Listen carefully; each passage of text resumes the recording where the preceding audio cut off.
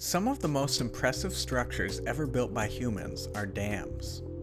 Typically concrete or earthen structures, dams block entire river channels, controlling the flow of water in order to generate electricity, aid irrigation for farming, control flooding, and assist with ship navigation.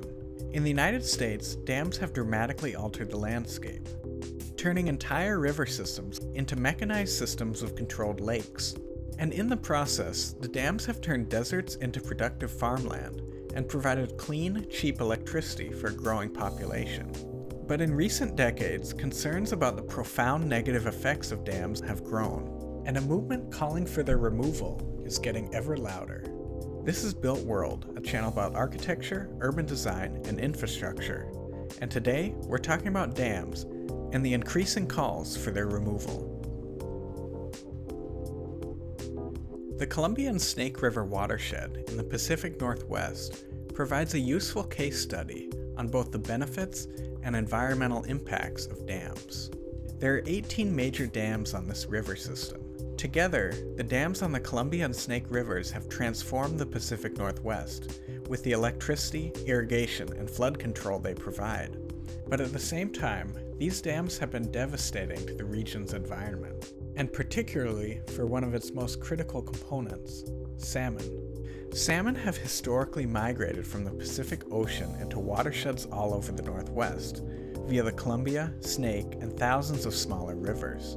Scientists often refer to rivers as the circulatory system of the landscape, moving sediments downriver and nutrients upriver.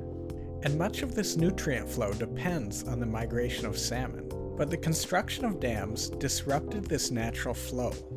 Before white settlement, it's estimated 10 to 16 million salmon return to the Columbia River annually to spawn. Today, that number is estimated to be around 1 million, and a major cause of this reduction is dams. The dams block the fish in their tracks, turning a once free flowing river system into a tightly controlled and engineered machine. Environmental regulations now require dam operators to mitigate their negative effects on fish. This comes in the form of fish ladders, or building things like fish hatcheries, and even loading young salmon into trucks to bypass the dams. But these measures are expensive and produce little tangible results for the cost. Increasingly, however, calls to remove dams and return rivers to their natural state are growing. In the past two decades, hundreds of dams have been removed in the United States. And many of these projects have been driven by economics as well as environmental reasons. Primarily, removal projects have been focused around small, aging dams, where the potential liability of failure, or the cost to maintain or upgrade obsolete technology, outweigh the profits that can be made from their electricity. But two recent projects have changed the conversation around dam removal. Both the Condit and Elwha River dam removals in the early 2010s were the largest and most ambitious ever attempted in the US. In the case of the Condit Dam, environmental regulations required the dam's owner to install a fish ladder in order to renew the dam's operating license. But it was shown that the costs of this upgrade were greater than the revenues the company could generate on the dam's electricity.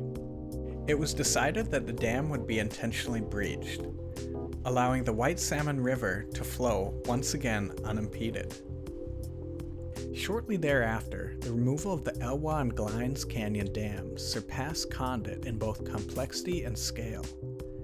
Nearby tribes like the Elwha Klallam had long pushed for the removal of the two dams on the Elwha River in Washington's Olympic Peninsula, in order to restore salmon runs in a landscape they've inhabited for thousands of years.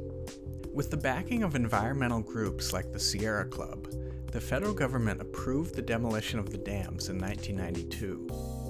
But years of pushback and then years of planning delayed the project's start until 2011. The dams were slowly demolished over a two year period, a technique known as notch and release, so as not to release all the sediment that had built up behind the dams in a single explosive event.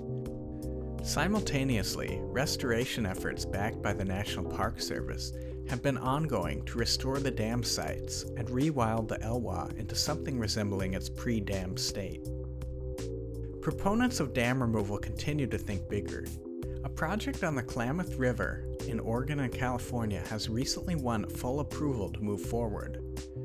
The $500 million project will involve the removal of the J.C. Boyle, Copco 1, Copco 2, and Iron Gate dams on the river.